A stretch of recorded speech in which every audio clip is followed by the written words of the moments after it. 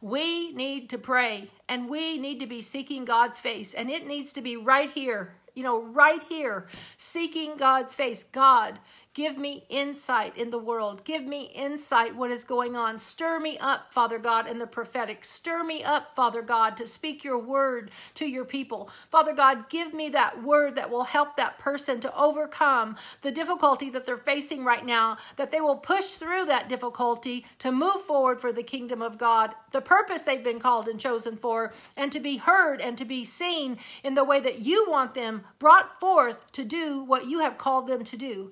I mean, body of Christ, it is not all about me. It is not all about you. It's about other people that God is also putting in our lives to help them to overcome what they have faced in life, the challenges they have faced in life, that they will not be quiet shut their mouth over here and not say what God is giving them for whatever reason they think that they are disqualified, but they will hearken to the voice of the Lord say what God has given them to say and to speak what they have been given to speak for the kingdom of God.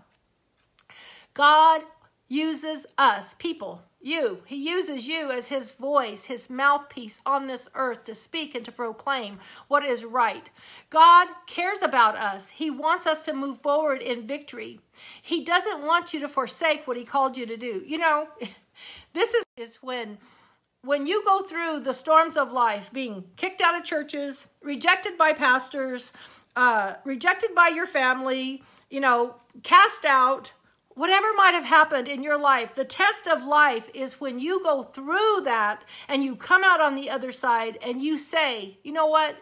I love Jesus. I'm still going to be a Christian. I'm still going to do what God called me to do. I'm still going to proclaim what God said. I'm still going to go become the minister He called me to be. I'm not going to quit. See, the devil will attack you through those closest to you the devil will attack you through those who you love the most. The devil will attack you and try to stop you and withhold you from those you trust with your life, from those you, you know, submit to in authority. The devil will use them in some way to twist truth or to twist things that are not a truth to stop you from being that voice for the Lord Jesus Christ.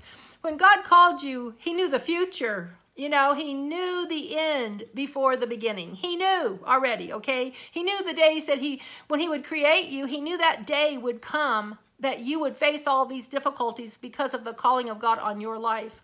And God is saying to you, do not cease, do not stop, do not quit, continue on. Can you not see what has happened in your own personal life, that God's hand is on you, and that's